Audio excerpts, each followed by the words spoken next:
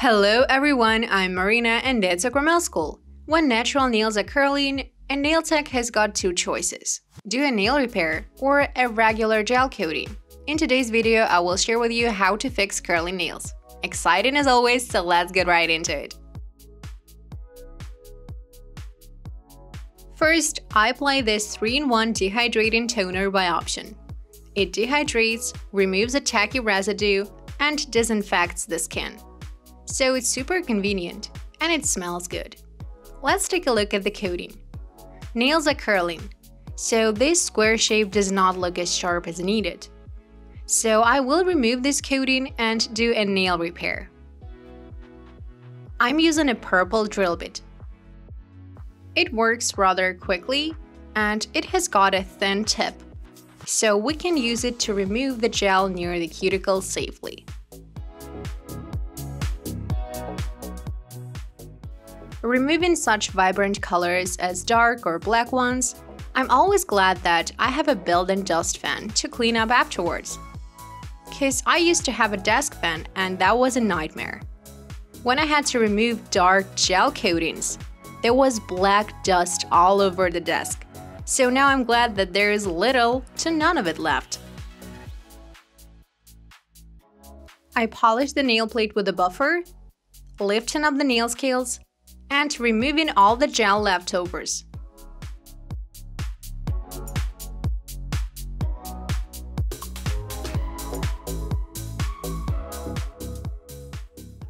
At first glance, my model's cuticle seems rather thin and simple.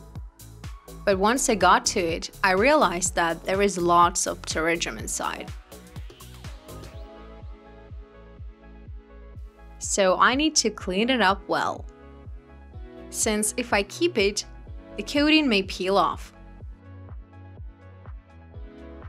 So I clean up all the left sides in the forward position, then switch the rotation direction to reverse and process all the right sides.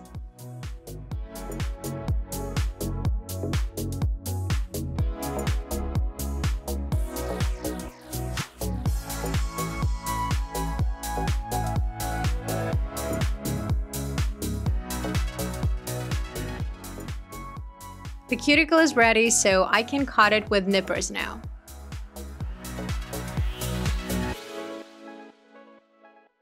Well, trying to make a perfect cut on camera is not a piece of cake, because one needs to stay in a static position, but I did it.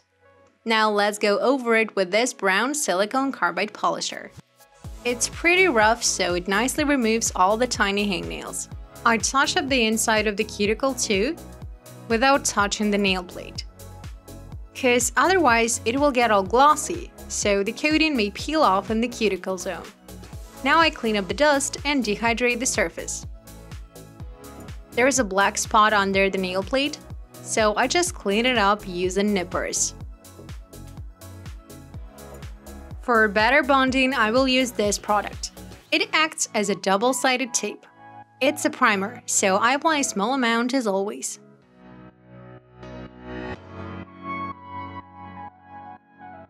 I do this first layer using a clear base coat by option. Just a thin layer with some volume near the cuticle.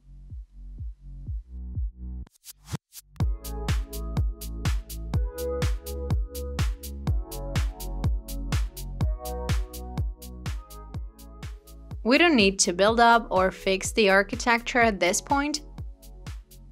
We just need a base.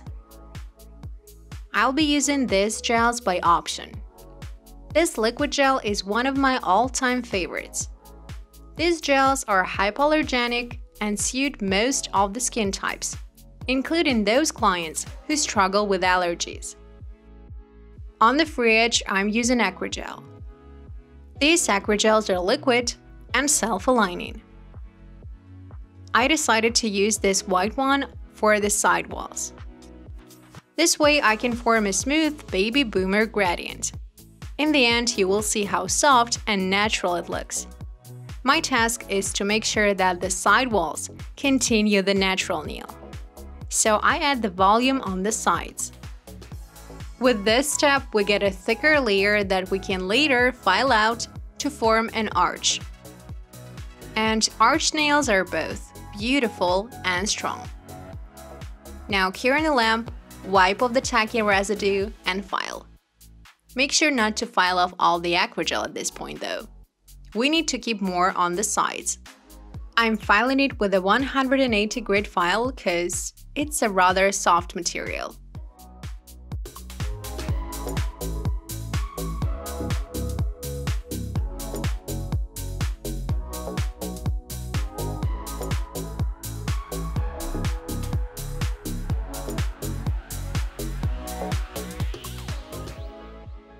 Now we need to file the natural nail out on the inside like this. Remove all the excess material. Use a thinner drill bit to reach deeper areas.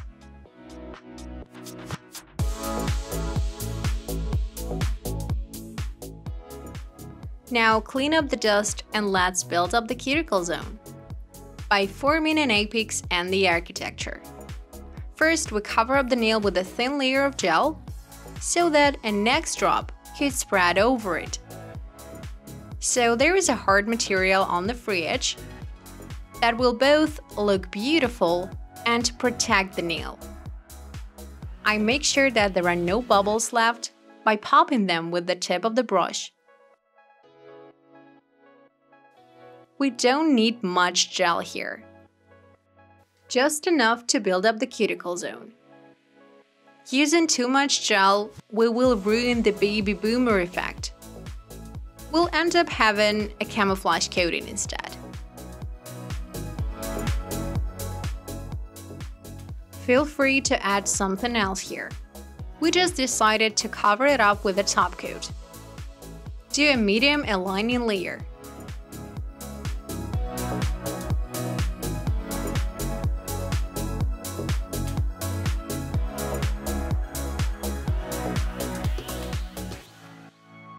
Overall, I really like this particular nail shape. Not just a regular coating with a small C-curve. I love it that here, the C-curve and square shape are more defined. Share in the comments if you do a nail repair or just a regular coating. If you enjoyed this tutorial, please give it a big thumbs up. Don't forget to subscribe, and I wish you success in your work. Good luck! Bye bye.